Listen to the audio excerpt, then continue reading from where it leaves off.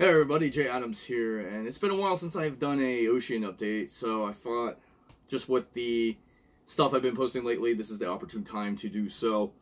Uh, the other day I posted on Instagram a picture of me holding up a sign saying True Intentions on it, and that, of course, raised some questions uh, as well.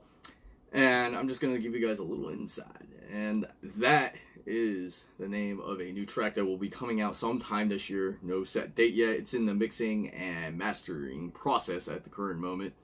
Uh, I have some other songs that I'm working on in the kitchen as well.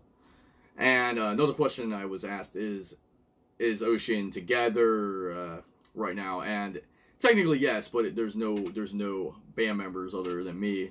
Referring back to earlier, I'm just writing songs right now and releasing them at some point this year. And I really hope you guys enjoy the new stuff as well that's going to be coming out. But there is old stuff out as well on YouTube and all kinds of streaming platforms. This is a obviously physical copy of that album, Argument of Fools, and you can buy this for 10 bucks, 13 for US shipping, and out of country shipping it is 15 bucks.